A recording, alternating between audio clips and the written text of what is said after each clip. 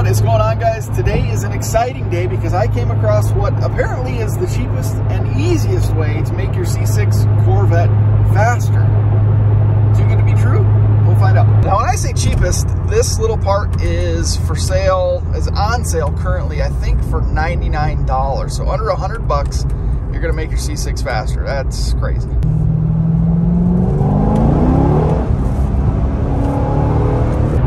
As bad as they are in the rear, it's hard to lay in the second gear and really tell how the car is doing just because it, it breaks them loose so easily. Um, but it feels snappy. I honestly, I can't imagine the throttle being more responsive than what it is right now.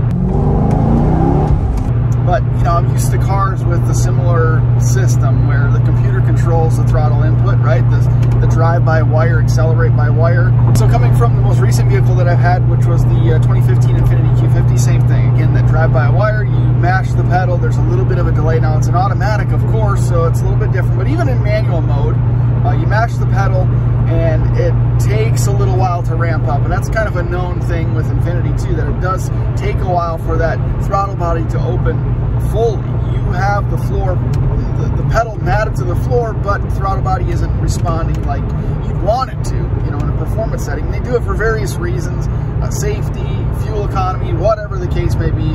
I guess, you know, preventing people from getting themselves into trouble in a car like this or Corvette where, you know, you have a 100% throttle response immediately, uh, there could be a lot more people than there already are going into telephone poles and trees, but it, it feels pretty responsive to me.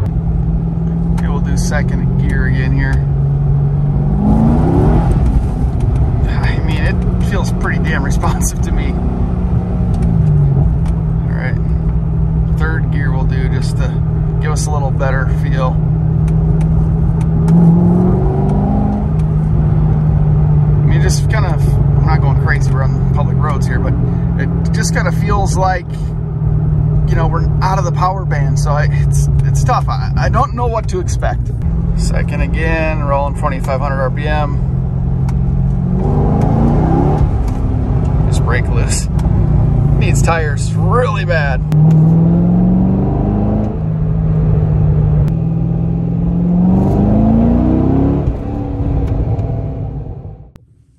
So I'm really excited about this one. And what we have is the Red Light Bandit throttle booster for the C6 and C7 Corvette. Does not work for the 2005.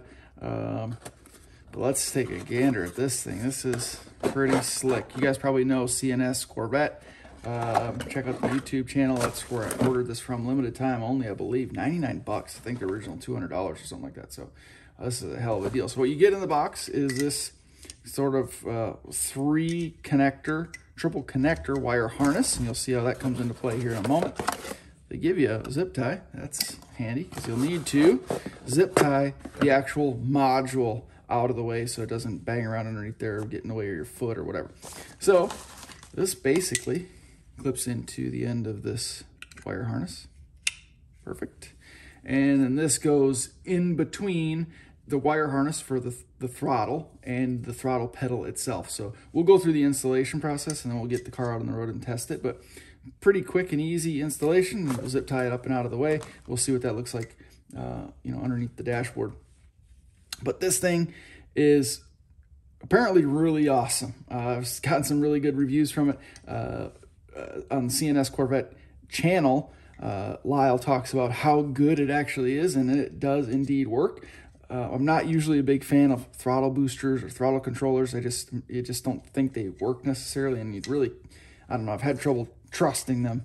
Uh, but this one had such good reviews, I thought I would try it out. So essentially what it does is it tricks your computer, uh, or it just makes your computer what you want it to do, basically. So when you put 100% throttle, those throttle bodies generally open up a little slower. They don't give you 100% throttle instantly like that. And that's what we want. That's what we want out of our Corvette. It's a performance sports car. So we put this in line here. When we put 100% throttle input, we're going to actually get 100% throttle, 100% throttle response. So it might make a big difference. Uh, we also got new tires going in the car tomorrow, so this is ideal time to test it out just because we're going to actually have some grip. Uh, I'm pumped to get this thing installed. Let's do it. Let's get under the dashboard of the car, uh, get this sucker installed and test her out. Let me tell you what I suspect out of this thing. Uh, am I a little bit of a doubter?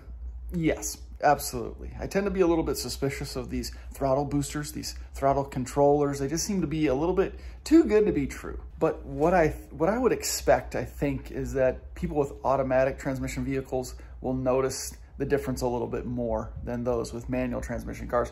With, with an automatic car, you just seem to be out of the power band. So when you floor it, you know, you're, you're kind of experiencing a little bit of a lag anyway because of the downshift and things like that, unless you're in manual mode, of course, but just automatic mode, you just, you're not really in that power band. So I'd imagine if there's any, if the throttle booster works at all, like it is supposed to and gets you that more automatic throttle response, you're going to feel it in the seat of your pants a little bit more. In a manual transmission car, it seems like we get ourselves in the power band, you know, we downshift ourselves.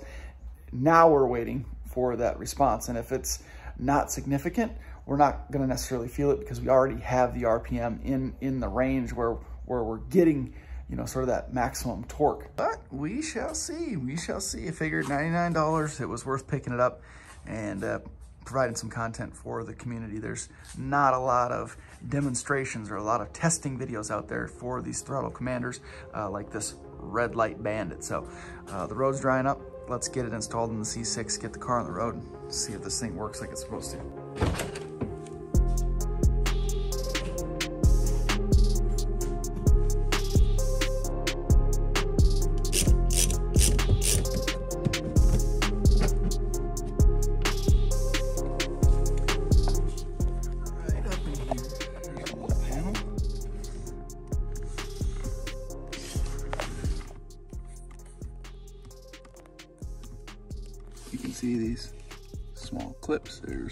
Should be three of them, one, two, and then the third one over somewhere. And just pull out.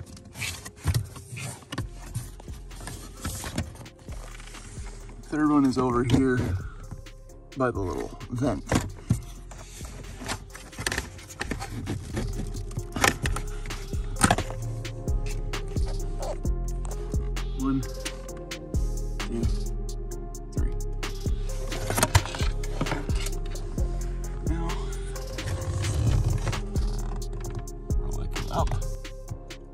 That little plug right there above the throttle pedal.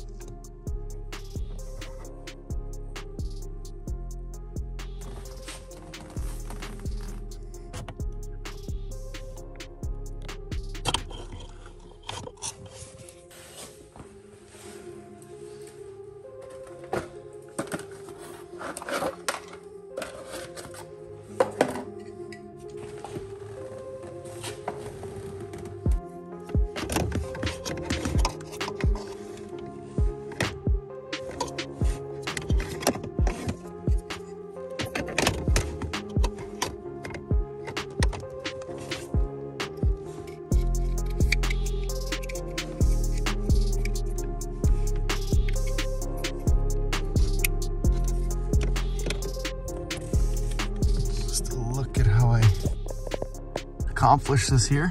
Just actually zip tied the cable up a little bit and then use some two-sided tape on the back of the module itself on that little metal rail up there, stuck it up there. So it should be up and well out of the way of the throttle pedal.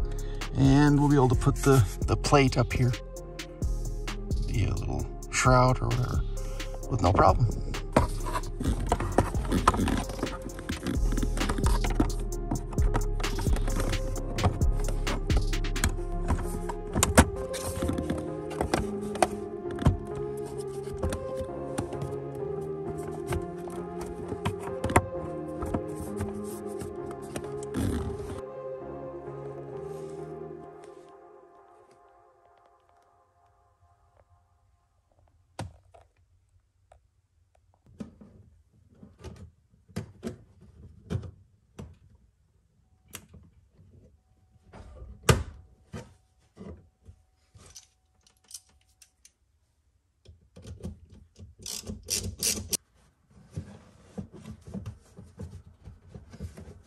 Now you're gonna need to be a little bit limber or have a, a small child available to help you get under the dashboard there. It's a little bit of a tight fit, but uh, you can do it. Again, I'm a little bit skeptical, admittedly so, but they say even that you should take this car out now after installing this module uh, in practice or get used to it in a in an uncrowded area before you take it into heavy traffic. So apparently it's a pretty significant change. So let's get it up and see what's up. There shouldn't be any warning lights.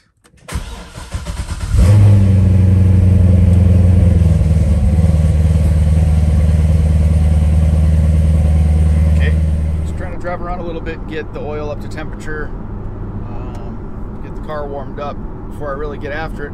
Everything seems to feel normal in terms of just driving around. I really want, got to get those brakes done. I really want to feel a difference. I really do. So, let's see.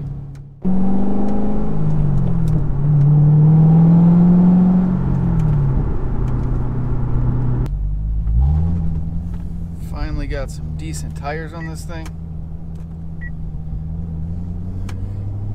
They're cold though, they're cold. The road is cold, so I don't have any expectations right now. A little hot.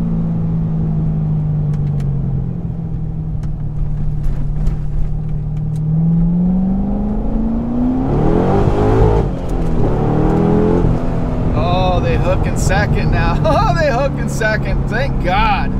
Oh my gosh. Short shift, but they hooked in second. Those old tires just burn right off in second gear. Second gear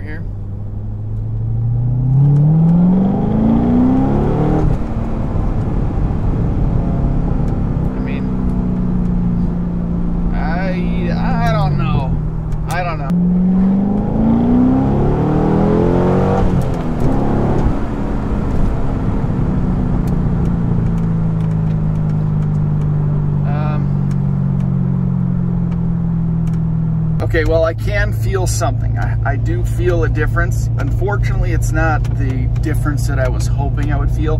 The difference I can notice is between shifts. So when you go first to second, it's when you get on the throttle into second gear, you can feel that is more of a an instantaneous sort of uh, punch in the throttle. But I don't feel, I don't feel more acceleration necessarily. I suppose because the throttle seems to be responding more instantaneously you know, immediately after a shift, I suppose you could technically be going faster.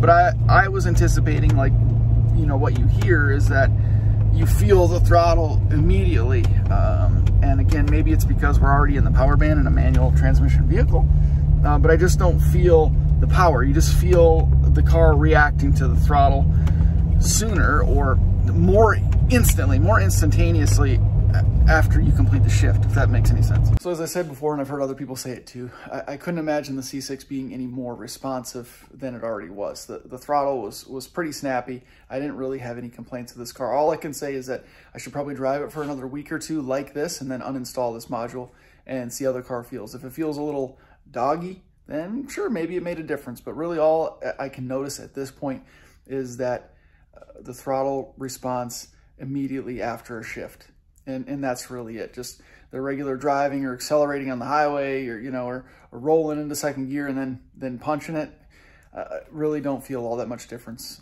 at all. So uh, right now at this point, only after driving on it for an hour or two, uh, is it worth it? Uh, I would say if it was $200, I would say no. I could certainly live without it. Uh, for 99 bucks though, uh, it was worth a try. That's all I can say. Is it a night and day difference? No, uh, it's not a night and day difference at all. Uh, very subtle difference, if if any whatsoever, other than what I've described here. So uh, that's my perspective now at this point. But uh, of course, we'll we'll follow up with this in, in a couple of weeks or, or so and, and uh, see if anything is different. But for now, link in the description below if you're interested in trying this out for yourself.